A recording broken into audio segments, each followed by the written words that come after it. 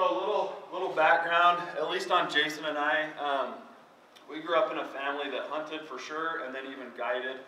Um, three, third generation guides. I guided for a little bit. Jason's guided. Uh, my dad and my grandpa guided like heavy guiding for you know 25, 30 years maybe. Um, and in that time, horses were a big part of that. Um, so I, I understand pretty well horses, um, what their mentality's like, how we use them to hunt, how we use them in pack strings and stuff like that. Um, and then just backcountry hunting in general. So, so we, we've kind of transitioned out of, you know, we don't guide anymore or anything like that. Um, but we do a lot of backcountry hunting, and that kind of has led us to pack animals because anyone who's hunted the backcountry knows it's only a matter of time, or you can only pack out so many elk seven miles deep when it's just you and your buddy on your backs before you go throw your hands up and say, This is stupid. Like, this is stupid. I mean, this is it's it's killing me to do this. And having lost elk meat because I thought that you know we could get stuff out in time and we couldn't, and all that kind of you know that horror story. Um, we I don't think we hunt elk anymore without a pack animal available, unless when do you hunt elk by the road? I guess I, we always have a pack animal for elk at least, and and even for deer. Um, so that's kind of our background. So let's talk about some reasons why we'd use pack animals. The distance. That's the simple one, right? It's like we just want to go further. We want to get in deeper, and I don't want to pack my own stuff to get in there. Um, even though we've got our backcountry gear dialed to about, I don't know, a five, seven day hunt, not including water and on like our weapon, 45 pound pack, and that's it's pretty doable. I mean, we it's doable for us. We'll go we'll go 15 miles with that. Um, that's not the problem. It's once you kill. And so we're in Wyoming last year, Jason and I, last year, two years ago, and we both had tags. We both had rifle tags, and we packed in eight miles. We're about eight miles deep, up in some nasty stuff, you know, up in the whatever range that is. And we both, we literally both, yeah, he doesn't want to say. I don't want to say either. We both knocked down, we both knocked down bucks, and, and literally, not literally, but within three minutes of each other. They're, they're two bucks feet out. They're with each other. If you saw it, it was like in the snow a couple years ago. We posted a picture of it. They're laying right next to each other. They died within five feet. Well, 50 yards. So we've got two bucks down. We packed in. We've got camp on our back, and we want to make one trip and get this over with. And we're in some nasty country. 125 pounds later and eight miles, I'm like that. It was I was done. That was it. Um, your body can just only handle so much, and that was about that was about my max. 125 pounds. You got a boned out buck. You got all of your 40 pounds original camp, and then you've got you know a little bit of water and a head in the cape. And we were going like 100 yards and then sitting down 100 yards. And that was downhill. Um, but, you know, and so we, we want to be able to go deep. We want to be able to go eight miles deep and still get an animal out. Um, that, that's kind of the meat here too. Um, another reason is just, especially with an elk hunt, something bigger like that, um, have a way to get the elk meat out without ruining it. Or, um, you know, we're hunting with three or four guys a lot of times. And we all have tags. And if we don't have a pack animal there, then everyone else's hunt gets put on pause, right? We've all been there where we're kind of out and like, oh, your buddy killed and now you're packing elk meat for the rest of two days or whatever. Um, but the, the meat care, uh, we have to, as hunters, we have to, you know, think ethically and take care of the meat. Um, maybe the terrain itself just doesn't, you know, you just, you just, you know, we, we hunt the Ruby Mountains from time to time and like, that's just, it's brutal. Um, you know, you're going from four or 5,000 feet up to 10,000 feet, you know, in the matter of, you know, a couple of miles. Um, and so maybe you just want to use pack animals to get up into nastier country.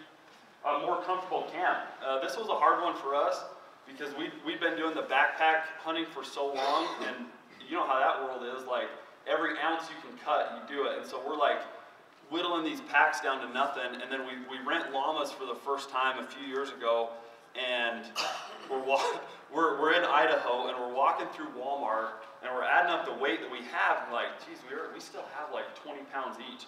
and we don't know what to put in our packs. like we're, we ran out of ideas. So I, I grabbed a six pack of Dr. Pepper and threw that in and like a bunch of donuts and just like things that we, we just weren't used to hunting this way. And so it's nice.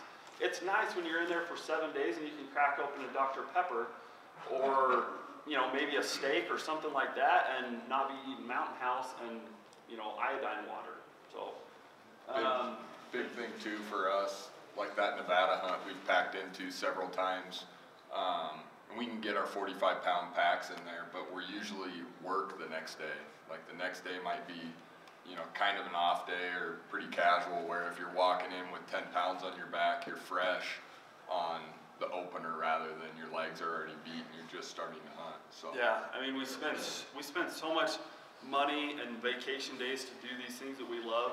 Um, if you've only got, say, a seven-day window for a hunt and you're not in as good a shape as you should be, or even if you are, um, those pack-ins are brutal. And to go in and, you know, I've been there. I've been there where you have to go in and you have to waste a morning recovering because you just, you hiked into such nasty country that you can't hunt the next day and your pack was, you know, 55 pounds or whatever. Uh, maybe you have physical limitations. You know, maybe you're maybe you want to go hunt with kids. Sure makes it a lot easier to pack, you know, a couple of kid stuff or your wife stuff or whatever in on some pack llamas or goats or horses or whatever, um, so that they can come enjoy it with you. Or maybe you just can't physically bear, you know, 50 pound pack to get in five miles and hunt for seven days like that. And so then, you know, then you can use pack animals. Um, a- Another reason, so maybe you're going to a new unit, and I put the drop camp there because that, to me, is like a little hidden gem. I think that guys can get, they can, they can, it's almost a roundabout way of, of scouting unit. If you're willing to pay a, a outfitter for a drop camp, and we'll talk about that, um, typically they're willing to take you into a good hunting area. If you, if you, if you say, hey, I'm looking at these couple different spots, they might narrow it down for you. Do you see what I'm saying? Like if you if you're willing to hire a packer and he's using his animals to get you in, um, it's kind of like you know you're you're paying him money, and I think there's a reciprocity there where he's willing to um, say, hey, you know, I think this drainage might be better than than this basin that you're looking at, or something like that. Um, and so you can use it to your advantage, I think. Um, and then just enjoyment. Maybe you just like being around animals, pack animals, or whatever. It's it's been a riot with us with the llamas for the last two or three years. Um, something new every day with llamas. Uh, and then, you know, we had plenty of stories to tell about horses growing up. So that's a couple reasons why. Any questions on that so far? Anybody in here have pack animals of any kind? A couple people. Cool. So that's kind of our, our main categories here, horses, mules, llamas, goats is what we're gonna touch on. And I'm, I'm not gonna spend as much time on the horses and mules because I, I feel like, um, correct me if I'm wrong, but I feel like maybe hunters in general understand horses the most or mules the most. Um, probably, I would, I would guess if you've had an interaction with pack animals, it's probably been horses in your life, someone you know packs in with them or something, so. Um, llamas is kind of our forte, and then, and then we'll touch on goats too, so. Okay, horses. Um, some advantages to having a horse. You can ride it. That's always nice, right? You want to talk about getting in and being able to hunt the next day. Um, if your if your body, I would caution that your body needs to have a little adjustment to sit on a horse. Um, if you've never ridden a horse before and you jump on a horse for 10 miles, it's, it's not like sitting in your La-Z-Boy for four hours or five hours. It will wreck you. You will, you will get off your horse the next day and you'll be doing this and it'll be just as if you had hiked in yourself anyway. So be aware of that, that if you're just planning on this big horse pack in, that you might need to put some miles on before you go in on a horse to accustom your body to sitting in a saddle for six hours or whatever. Or maybe you plan on walking, you know, half and half or something like that. My dad does that a lot with his horses. Um, just, just mostly for the exercise, but I think part of it is you just don't, you don't want to sit in a saddle for, you know, a six-hour horse ride in or whatever. But you can ride them, and that's a huge advantage that the other two don't have. Um, they're packable weight, obviously. Like you can just put more pounds on a horse. That's you know, obviously. Um, you know, I, I don't. How many horse? How many pounds do you think an average horse can pack? Three hundred, easy. pushing it, two. I mean, I've seen them pack three hundred pound people. Yeah. But substantially more than like the llamas and goats we'll talk about. Um, I think there's a nostalgia with horses, horse hunting. This is kind of, you know, for those of you who maybe grew up hunting on horses, like sometimes I like to just throw a gun in a scabbard, pop through the hills on a horse and just enjoy a good horse ride. And there's something to, you know, to be said about that. Um, they're easier to find. Uh, there's horses, horses are almost dime a dozen. You know, you can get on KSL right now and probably find, you know, 50 horses within the valley here for sale that would probably do the job. They're a lot easier to find. Try finding a good pack llama within 50, 100, 500 miles, and your eyes will be open real quick. It is extremely hard to find a good pack llama or a good pack goat right now. Any questions on those? Anything that you guys want to add? Disadvantages. Definitely more unpredictable. The horse guys in here are probably going to be, well, you don't know how to train them. You're probably right, but maybe other people don't know how to train them either, and that's that's just generally what I've seen over the course of you know 20 years of being around horses. Is generally they have an unpredictable. There's just something in their DNA. Every once in a while, something unpredictable is going to happen, and it happens more often with horses than with llamas and goats. Especially when cross a llama. Yeah, especially when they cross a llama on a trail. It's funny that you say that. Horses, if you're with, if you're in a pack string of horses, or if you're using llamas, horses hate llamas. Like, it's a weird, like, if you've ever crossed llamas on a path with horses, give the horses a wide, wide berth because I don't know what it is. I don't think they recognize them as a, I don't know. They don't recognize them as a normal, uh, you know, stock animal or whatever. But they, we've seen some some rodeos just from passing our llamas around horses. Definitely more dangerous, especially if you're riding them. Right? There's just a factor there that if you're sitting on a horse that has a come apart, um, it, there's a lot more danger there as opposed to a llama.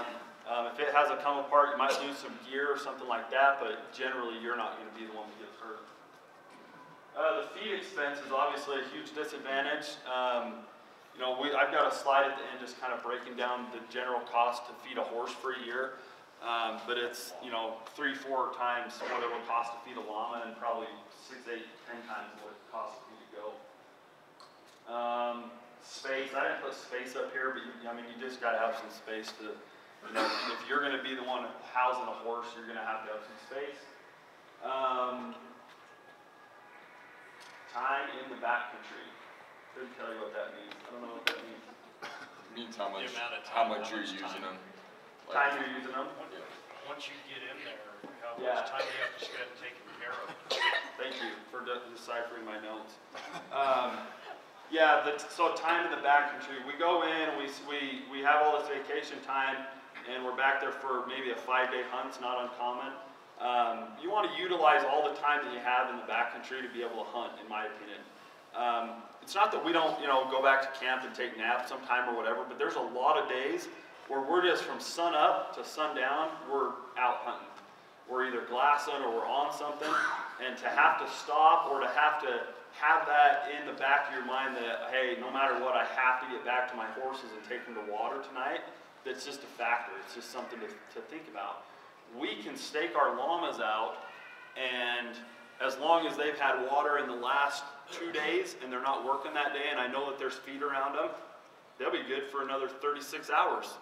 I, I trust them that much that I don't have to be back to get them to water or feed as long as the, the grass is there. Um, so yeah, having, you know, or you gotta have someone in there that's just the horse guy. You know, we did that quite a few times with my dad. It's like, oh, we wanna go hunt this and we wanna take the horses. Would you mind coming along and kind of babysitting the horse while we go out and hunt? You know, that's, maybe he likes that, maybe he doesn't, but, you know, it's just something to think about. And then the training or the money, like either you're gonna be the one to train a horse or you're gonna be paying someone to train a horse. Um, and it's very technical. Training a horse to, to just to pack is one thing, training a horse to be able to ride and rein, um, you know, saddle, unsaddle, all that kind of stuff. That's a whole nother uh, time consuming and expertise that a lot of us just don't have. And so you're either, you're either gonna learn that and you probably learn the hard way by making mistakes training a horse, or you're gonna be paying big bucks to get a horse that's already broke, that someone else has gone through that process. So just something to think about. Say another disadvantage with horses, unfortunately, is people. People? Because I've left, I had a buckskin horse that I left tied up in the trees. I was down going after an elk.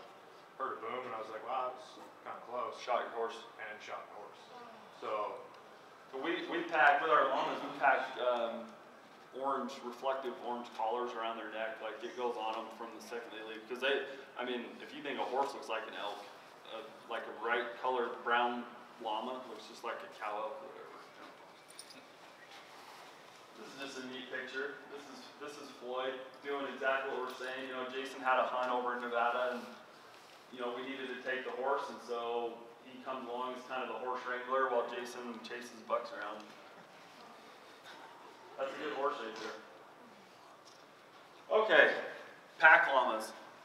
Jason is, Jason's probably the, the expert in the group here. Um, I'll run through this and then we can run any questions you guys have with llamas, um, through Jason or myself.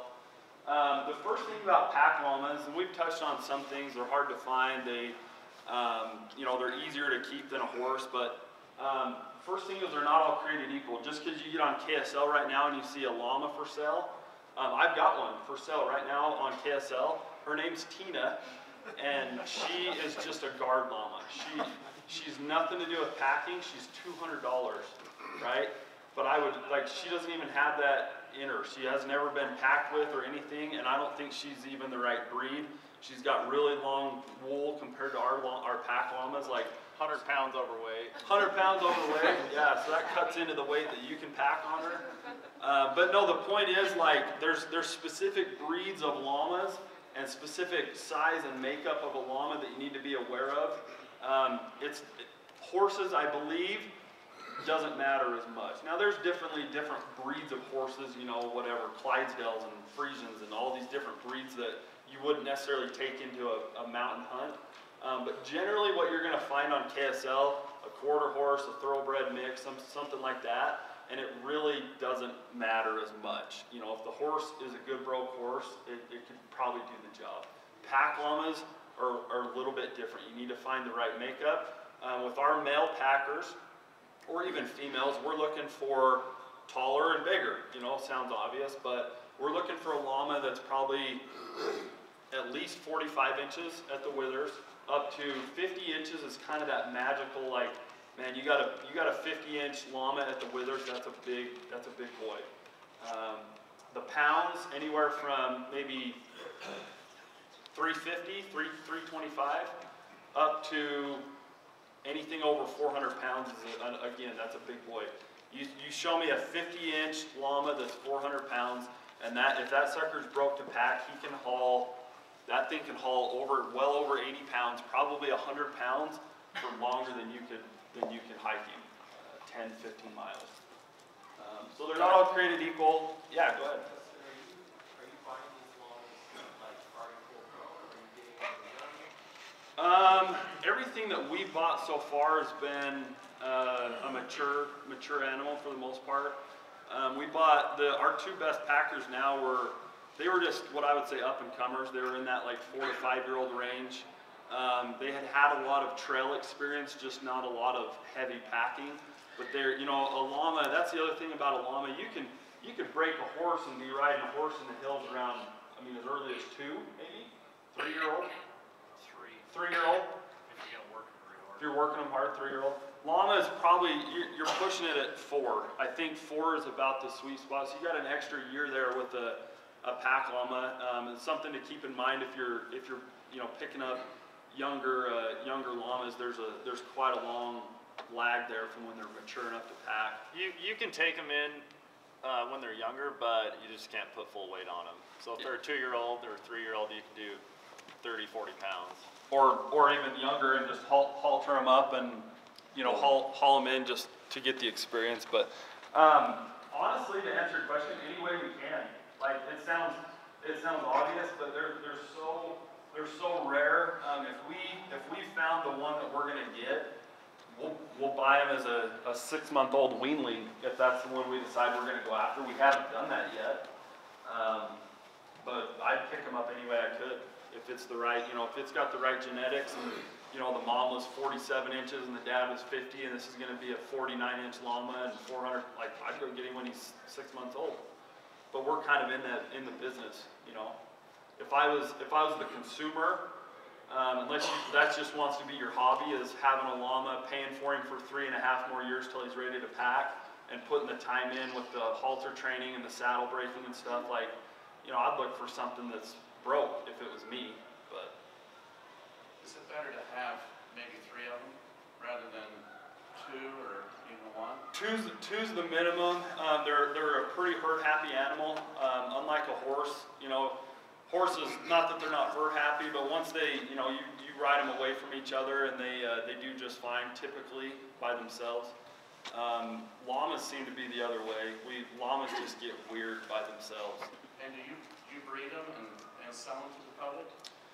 We breed them. Um, we, we do sell them. Uh, it's, I say that tongue in cheek because we just, we don't have a lot right now. And so we, you know, but we, we, we're, we're in the process of building a herd. Um, and so we're not looking to sell a ton of them.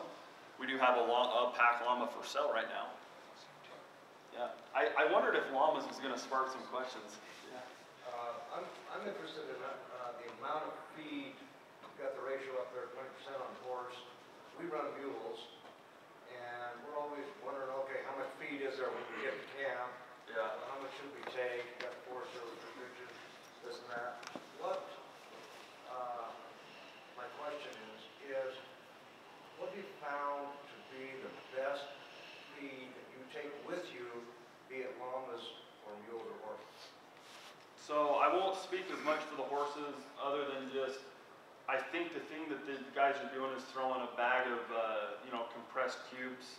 Cubes. The- Yeah, they, they sell them in a fifty, probably a fifty pound, I don't know, it's a, it's a gunny sack size of cubes, and I'm, I'm ninety percent sure that's what most guys are taking into the backcountry. So Uh, on a daily basis, what would a llama eat? So, if we know that we're going into a spot, let's say Book Cliffs, for example, and I know this because we've been in there, right? And that, that's the key to your question is if you're not, if you haven't been in there, you know, I don't know. I don't know what the feed looks like for sure, but if I have a good idea, um, we won't pack any extra feed for a llama.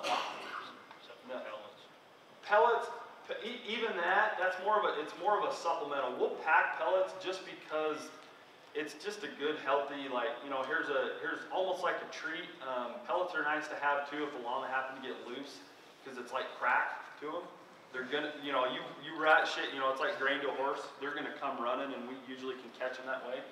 But if, if I was going back into the Book Cliffs for another hunt this year, like, I don't think I'd pack a single The, pellet for a the grain's not for like the feed. It's just kind of like a here's a treat type of thing. Supplement. Energy supplement. It's They don't need high. it. You use oats also, like we used to take the oats, put them in the bottom of the tank, and then put the eggs in there so they wouldn't get broken. And, uh, But we always took oats with our horse and mule. What, do you take oats on, on with the llamas? No, it's just like a protein pellet. It's a pound a day per llama if, like, we're going into Nevada where there's no yeah, feed. Now, in Nevada is a different story because we got up there and I mean, in a fifty by fifty, there wasn't twelve blades of grass. And so we were constantly, there was, I'm exaggerating, but we had to constantly move them each night. And then I was supplementing them hard with pellets. You know, we were, I was giving them, you know, uh, at least a half pound a day of pellets. Uh, or a, a half gallon Ziploc bag of pellets a day. Um, so to answer your question, it depends on where you're going, but you know, I would, I would still be packing feed probably with horses, um, so that I didn't have to sit and watch them hobbled, you know, out in the, out in the field for three hours while they fed. Um, it's just different with llamas because, you know, on the Book Cliffs, for example, we could stake them in a, you know, a twenty-four inch circle and they couldn't eat the grass in there in a week, you know, and so we, we didn't even have to move them. Uh, so, anyway, just, just one little, I think an advantage with llamas is if you know there's good feed in there, we don't have to pack anything. They're just, they're living off the grass and the forage. Kind of dark blues. Yeah. So when you talk about, you talk about the rental, that's Yeah, since not all this been yeah. Let me, um, or just as you're talking. yeah, go ahead. So how long do the llamas live? We've been look- really looking at goats, and the goats, they say you can keep them for up to 15, 17 years. How long are the llamas compared to the goats? What's I, I would probably say 20, 25 years. Um, 25 is probably pretty long, but Probably packable years around fifteen to twenty, depending on the llama. They say they hit a peak at seven, and then you can pack them for ten, like, good years. From seven to seventeen is really your Kind of the sweet spot. 15 to 17 is about when you retire them. Well, well, I'll, I'm gonna come back to your rent, your renting question, by the way. How many acres per llama, uh, once you get the llama? And also, um, what type of shelter required? And then uh, the other question is transporting the, uh, animals. Yeah. Um, acre per llama is tough because it, it, I don't know what your pasture looks like in your feed. I mean, if you, if it's just plush green, you know, you're up in Logan, uh, it might, it's gonna be different than down in Mesquite, you know, um, so it's tough to say. I, I, as far as eating, my personal opinion is that three to four llamas eat as much as one full-grown horse. Kind of in my experience. We've put llamas out in a pasture, let them eat for a while, and then put a horse in there, and within like two weeks, the feed's gone. And with the llamas, the feeds still look pretty good. And are they eating shrubbery trees or are they eating grass? That's another thing, Everything. a- advantage of llamas is they'll eat anything, man. I've seen eat They eat cedar, cedar tree trees, bark, pine I've seen them eat trees. pine needles. There was Sure. one llama we took in, he was an older llama, and I, I really think he just physically couldn't get down to the grass on the ground, he was really old. Um, we weren't using him to pack, we were just using him as a companion llama, because of the, they need to be with another llama. And he, he wasn't eating grass, and finally I moved his stake and I put him next to a pine tree, he hammered that pine tree. And I'm like, oh geez, like good thing I moved you, you know, because I think he would have just died from starvation. But he was all about that pine tree, like, same with goats. Goats will, goats prefer a pine tree or a cedar tree. I'm not kidding. They- They'll walk over a green blade of grass to go to a, a pine tree with pine needles. Horses just, if it's Little wet, guy over stomp. The little guy, what's up, man? Yeah. Llamas don't. Dude, the llama spit. I was waiting for it. Give him a good prize. Eat my lawn. That is the number one, 100%, the number one question we always get with llamas. Do they spit? Llamas absolutely will spit. Um, typically, they won't spit on you. It's like, yeah. We've got, it's, he's, we've got one llama that has a personal vendetta against my dad and just spits on him every time he goes in there. I, I think Jason trained it that way because he doesn't spit on anyone else. But Square in the face. all the time. But no, typically it's like does a dog bite, right? So dogs will bite, and if you do something to maybe hurt a dog, a dog might bite you, or do something to catch it off guard. Uh, but typically, a dog's not looking to bite someone. Llamas aren't looking to spit on anyone. Um, mothers with young cria, right? The babies are crias. A mom with a baby might spit on you if you if it feels like you're intruding on its on its baby. Um, llamas spit on each other all the time. It's it's just the, it's the pecking order. That happens all the time. They're spitting at each other around Every day, around all day. Yep, around feed especially. But typically, no, llamas don't just spit on people.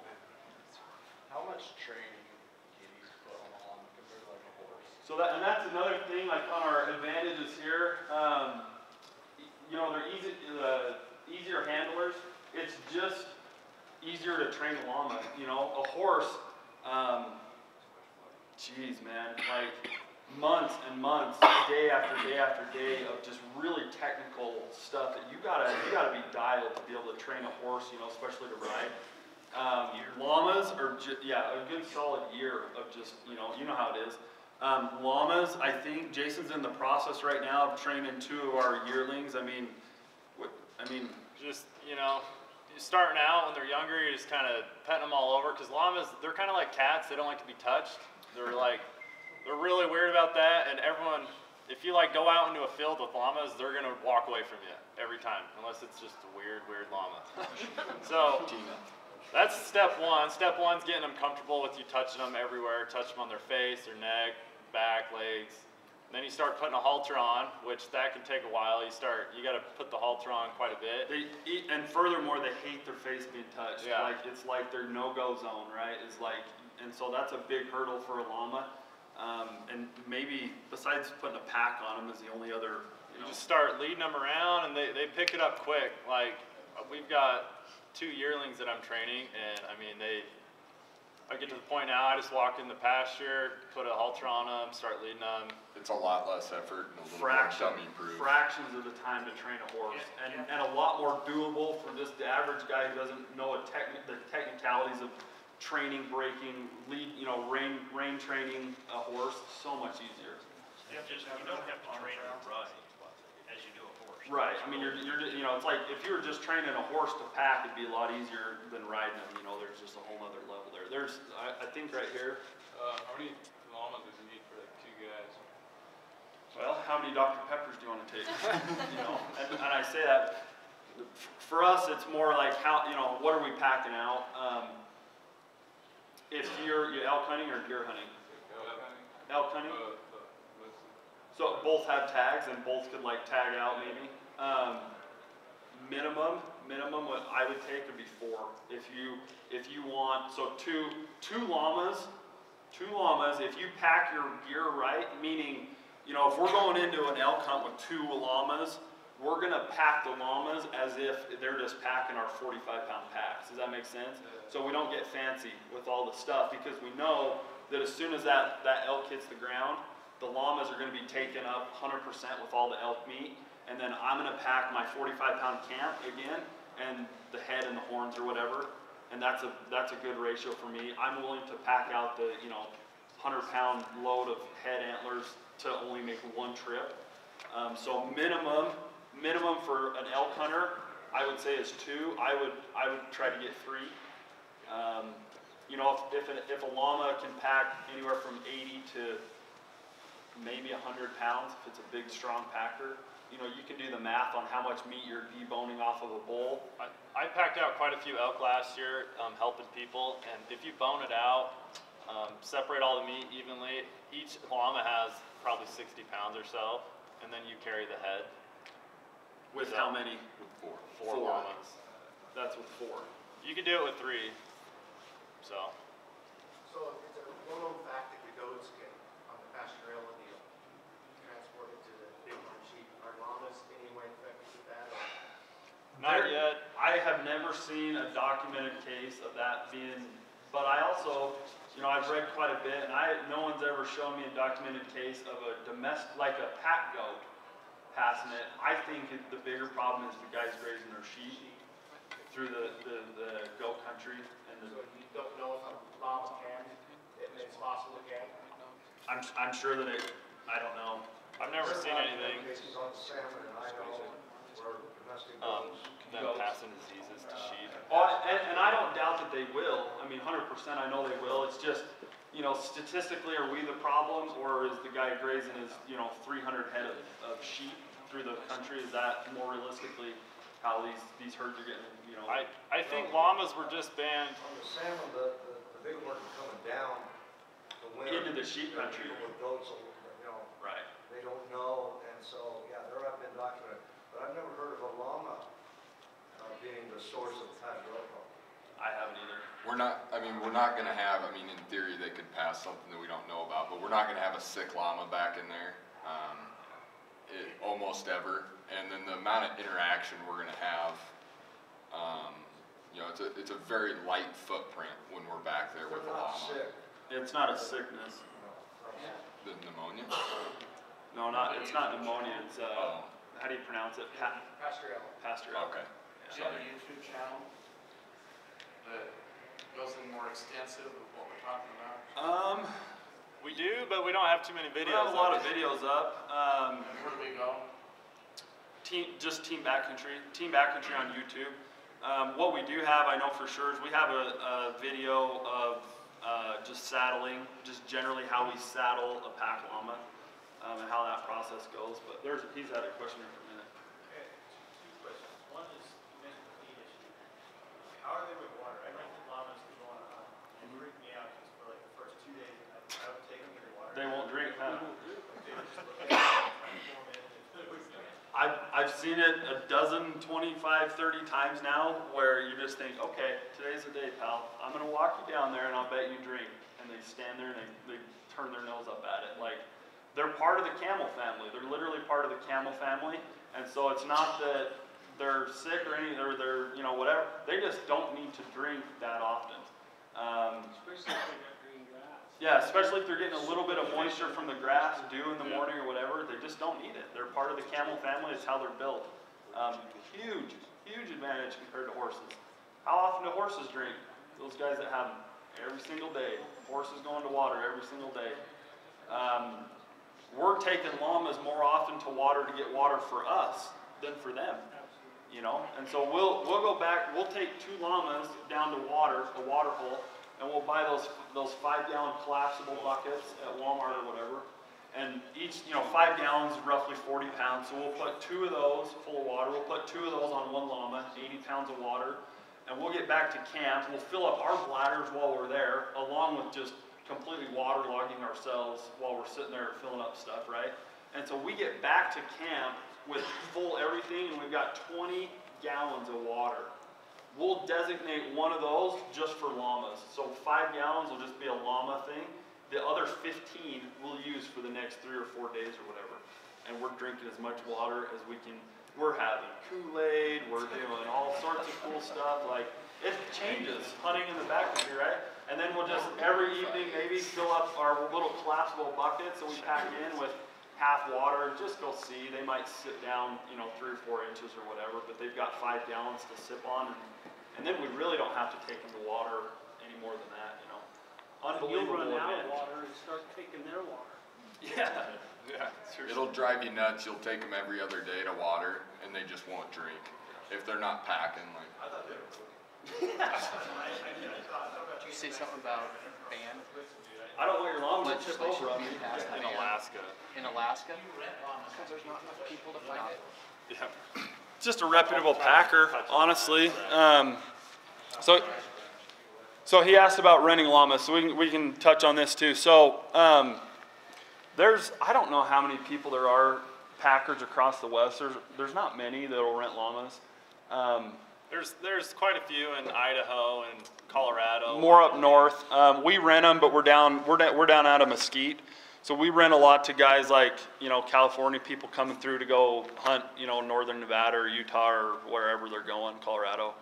Um, so some things to look for, just, just a reputable packer. Um, what, uh, you know, obviously, I think they need to be packing CARA, C-C-A-R-A, you know, CARA bred llamas. Those are pack llamas that we're talking about. Um, I don't know, what else, what else would you look for? Definitely with the gear. Uh, if, yeah, if you're, I wouldn't even agree to that, cause we're, llama, a llama packer, uh, and panniers are super specific. I mean, they're hundred percent for a, a llama. You can't, it's not like you can take your mule saddle and throw it on a pack llama. Um, so hundred percent, they need to be providing the gear. A good cost ballpark, um, we're, we're fairly cheap, and you can rent one llama for us with the trailer for what, fifty bucks a day? With the Per, trailer? per llama, and that would include a trailer? No. No, 50 bucks a day per llama plus 25 a day for a trailer. there you go. What type of trailer? I mean, you can't put them in a horse trailer because they're neck. You can, oh yeah. if it fits a horse, it'll fit a llama. A lot of times too, they're gonna lay down while you travel. Um, so as long, I've seen people, not, not hunters, but I've seen YouTube videos of, look it up, people putting a llama in a van. Check it out. Yeah, vet bills. Um, what do our vet bills run a year per llama? Maybe hundred bucks average. Well, we've, uh, you know, they- we get them some shots. Yeah. If you want to do it yourself, you don't have to take them to a vet. Just give them the shots themselves. Yeah. They're very hardy. They rarely get hurt.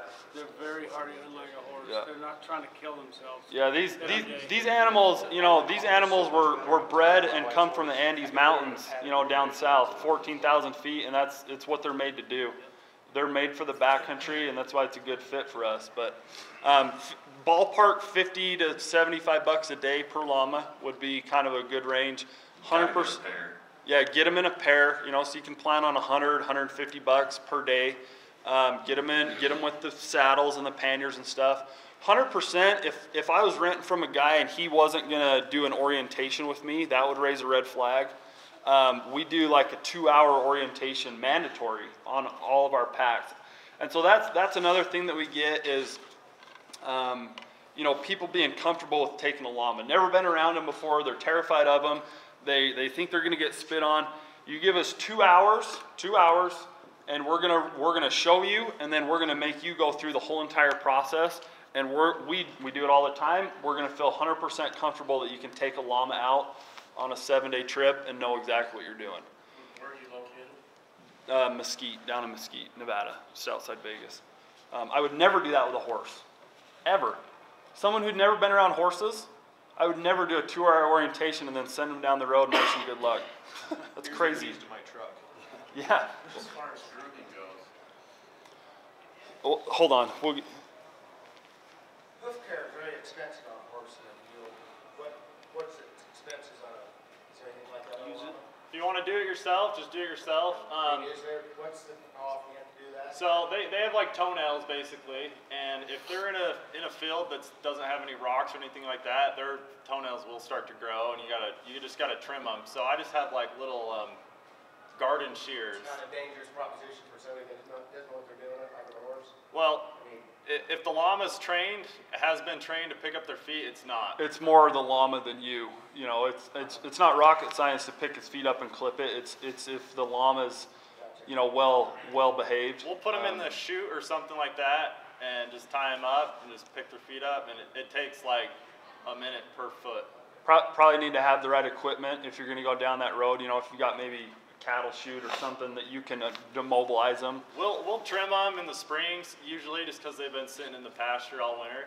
But uh, in the fall, when they're out hiking and on the trails and with the rocks on their feet, that you don't need to trim them. It just takes care of itself. It's, it's kind of an odd track when you see them. If you ever follow a llama in, you won't know what it is. Almost looks like an elk, but It looks like a backwards elk track. Yeah, Yeah. They, If you don't but under, if you don't understand them, you'll think you're, you'll think they're going this way when you're going that way. I, I love, I love hiking around with our llamas and then having the thought that someone behind me is like, oh, we're onto a good herd here, like this is a big bull. They're chirping behind us with a, who that's that? Yeah, wouldn't that be funny? Um, what was the, what was your question? I can't remember, I've got so many things going through my mind.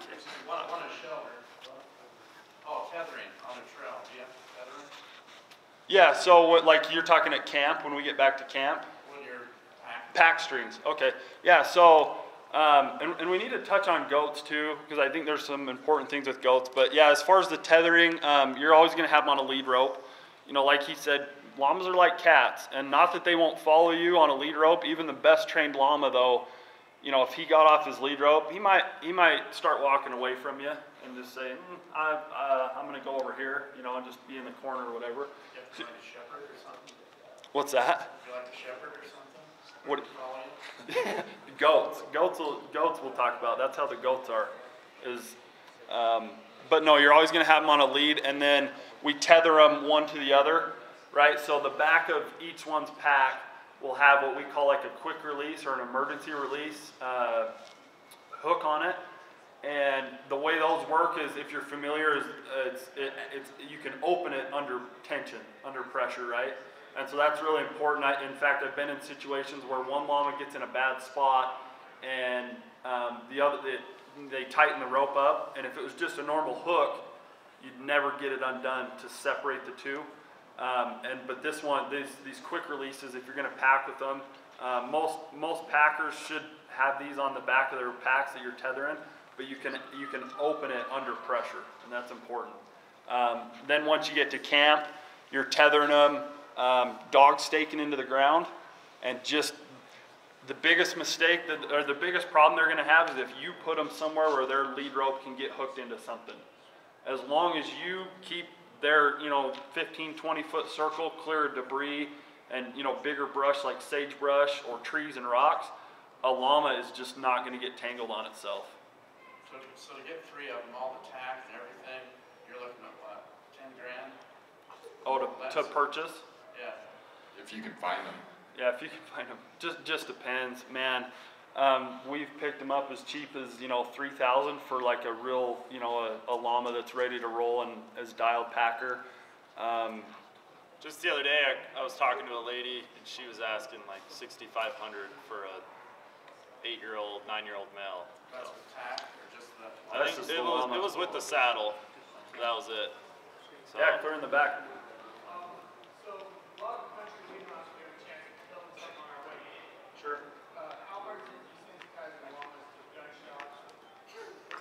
You want me to handle it? Corey's got a story. Corey's got a quick story for you on the Bo's, gunshot thing. Bo's not in here, is he? No, Bo Baby's not in here. So his lawn was we were renting. We Dustin had gone down. So Dustin like gets fixated on something and he's just gotta have it. So Dustin had bought pack goats, um, before maybe we'd done a ton of research on it. And we were getting ready to run pack goats when we came across llamas and Dustin did more and more reading on llamas. And, uh, there's a guy up by Idaho Falls, Oh, uh, Bo Beatty with Wilderness Trail llamas. He's got uh, probably the best llama herd in the lower 48. It's incredible, and he's very passionate hunter. Um, he's an awesome dude. If you're if you're going up to Wyoming or up into Idaho, um, he's the guy to go to as far as I'm concerned. But he uh, he rented us a pair of llamas, and Dustin and I were going in on an elk hunt, and we were packing up the saddles. We had gone through the two-hour um, the two hours with him walking us through. This is our first trip with llamas, and this is us like trying to figure out whether we want to crawl down that wormhole of getting four llamas or you know getting our own. So long story short, uh, I know Dustin- Corey well enough to tell him to get to the punchline. Right. Dustin and I are packing up the saddles, and Dustin starts whispering at me, "Hey, there's a coyote, coyote!" And we're at the trailhead, and right down the trail comes a coyote, and we have a wolf tag in our pocket. It's an archery elk hunt, so we have a rifle with us. So I rip the rifle out, and uh, I'm walking up, and these llamas. We had stayed the night at the trailhead, and these llamas were all staked out, and this coyote just so happened to be on the other side of the llamas. Um, and I it wasn't straight over his back, but it it was you know very directly to the left of me um, when I'm taking a shot at a coyote, and it uh, the, the llama was unimpressed. You know, he just kind of I- stood there. I'm- you would have had a rodeo with a horse. I understood that he needed to shoot the coyote. It's every hunter's obligation. You see a coyote, you got a gun, you got to shoot it, right? And so I knew he had to take the shot. And then I'm watching that this llama is going to come unglued. Llama didn't flinch a muscle. I don't think llamas have near the skittish tendencies that a horse would have. To answer your question, these were these were great llamas, but we I mean we were hook, line, and sinker What's after that? that.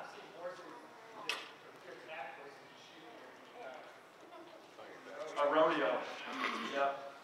Yep. Do you guys have any extra considerations you take into account for when you're in wolf and grizzly country? Stake those llamas as close to your tent as possible because they're a good uh, they're a good buffer. More for us, not That's- yeah. their sake. Do you feel comfortable with leaving them for the day while you're out hunting them? 'Cause I- So I we- go solo most of the time. We have not ran them in grizzly country. Um, we're definitely in wolf country in, in Idaho. Um, and so I, I can't say what those guys do, but I, I know Bo's, like Bo, for example, he does a lot of Wind River stuff in uh, uh, Wyoming. He's not taking any special precautions. Um, they're typically in bigger, bigger groups, you know, maybe four, six, eight, ten llamas. Um, but they're, they're just not, they're just not taking any special precautions. Um, one thing to be aware of is a llama, when a llama sees a bear or what it thinks is a bear, they have the most god awful, like screaming, uh, almost a screeching, laughing Can you do one for warning bark. Yeah. And they'll, they- I mean, that's not even a fraction of how loud it is, and they will, my mom's laughing at me. Mom, The first time you hear it, it'll freak you out. it, it almost scares you more than, you know, than them, but, um, so we, we just use it, we use it to our advantage, you know, put them by your tent, and then you've got a buffer if a bear tries to come in at night or whatever. I wanna, I wanna touch on pack goats real quick, um, so, yeah, seven minutes. So, real basics on pack goats. First of all, a good pack goat needs to be bottle fed, right? That's how you get a good pack goat. Is they're pulled off their mom within the first week, and then someone's gonna bottle feed them for the first couple weeks for like three or four, five times a day, and then you know two or three times a day for the next couple weeks, and then three or four or two or three times a day until they're you know maybe can't remember now off the top of my head, a couple months, you know, you're gonna do that. But that's what imprints a, a pack goat to just follow you around. And if you've ever been around bottle fed goats, you get in a corral with them and they will not leave you alone. They're the most annoying animals on the planet. They're in your hip, they're nibbling on your pants, they're grabbing your hair, your shirt, whatever. They just, they're your best buddies like your dog. But a pack goat, if you're looking at pack goats, they need to be bottle fed. Um, pack goats are hard to find too. Honestly, they're um, maybe not as popular yet as, as llamas, um, but they're, they're tough to find. A pack goat will pack roughly 25% of its body weight, and a big, strong pack goat, like the equivalent of a 400 pound llama, would be about a 200 pound pack goat. That's, that's a big boy. And so you might, you might get 50, 40, 50 pounds on him, which is pretty impressive. Um, a lot easier to, to transport and handle. Um, most guys with pack goats are just throwing them in the back of their pickup with a stock rack, and that's it. Can you talk about the, just real quick, the difference between the conditioning for pack goats versus Like uh, phys- Llamas. physical getting conditioning. ready for, yeah, getting ready for season? I don't know. I've never conditioned pack goats. Um, I know our llamas, they'll definitely get out of shape, you know. Horses, horses will get out of shape. Just Goats, like anything. I, I don't know how to talk about the differences well enough, you know, that this one's gonna take this many miles or this many trips to get ready. Um, I'd say ballpark with llamas, you know, you wanna put maybe a, a good, you know, two or three trips, uh, you know, real good, like packing some weight, you know, at the beginning of the summer when you're, before you head in. Um, Goats will eat, definitely eat less. I mean, you're talking, now you're talking a fraction of what a llama eats, you know, per goat. Uh, that being said, you're gonna have to have maybe three or four times as many goats, you know, as you would a horse or a llama or whatever. You can do the math. Um, a lot easier handlers, no lead ropes. And I put that as an advantage and a disadvantage because, so no lead ropes going in would be nice, right? You just load up your five, six pack goats and they're, you just head up the trail. I've seen it a hundred times on YouTube videos and they just follow the guys up the trail. And they're just walking behind them. They kind of scatter out and just do their thing, but they're all coming and they want to be with each other. The disadvantage to not having like the no lead rope thing is pack goats also don't like to be staked up and, and tied down with a lead. And so a lot of these guys, it sounds crazy, but a lot of these guys with goats are hunting throughout the day with their goats following them around. Couldn't believe it. The first time I talked to, uh, who's the guy? He hunted with South Cox with, with pack goats. Rodney York. Rodney York, and I'm having this conversation with him, and he's trying to tell me that, oh yeah, not only do I hunt with my goats following me around, but he said that he, he said it calms the deer down, and he's saying that he uses them as like a decoy, and I'm like, you're crazy. And then I started thinking about like, you know, a goat to a deer or an elk is probably not much different than a, you know, a mountain goat or you know a desert bighorn sheep or whatever they're around. That's what the guy I saw this year said. Yeah. Said the elk will come check his goats They, out. they say it all the time. The guys will use their, their goats and the, you know, it's almost like the deer and elk are, you know, it puts them at a, uh, calms them down. So calming to wildlife, believe it or not, I haven't seen it in the, in person, but.